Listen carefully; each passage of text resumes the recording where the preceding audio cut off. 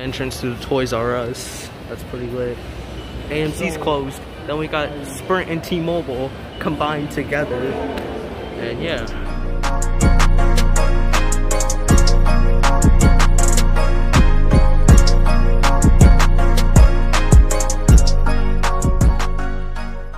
What's poppin' people? It's your boy AP1 here. And today we we are about to explore the Toys R Us and um the Garden State Plaza. So get into it.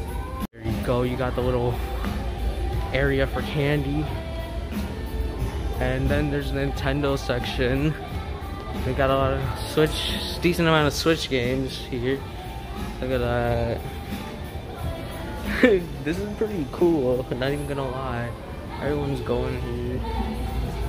And the little book section. And they closed everything here. And then there's like a little green area representing grass and a tree. And then there's like a bit more toys. Right there, we got the Monster Jam, all the checkout section, Monster Jam over there. Double A batteries and all of them. We got some Melissa Doug shit. Leapfrog. Candy. That's pretty cool. I'm not even gonna lie. Check out the Lego section. Lego section. Oh god, they built Emmett. Pretty amazing. Amount of effort they put in. Pretty amazing. Lego. Lego friends. Pretty amazing. Duplo for the little kids. That's cool. They got more stuff. Digimon, Pac-Man, all that. Lego City, about Fortnite stuff.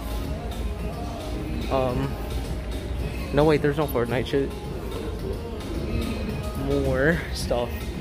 What's cool? Nerf. That right there. And stuffed animals. And I think that's pretty much it for Toys R Us. Um, see y'all later. Oh wait, one more. Paw Patrol. Yeah, Paw Patrol section. That's how popular this show is. yeah, thumbs up. Because it's not Nah, but for real. See y'all later. Peace out.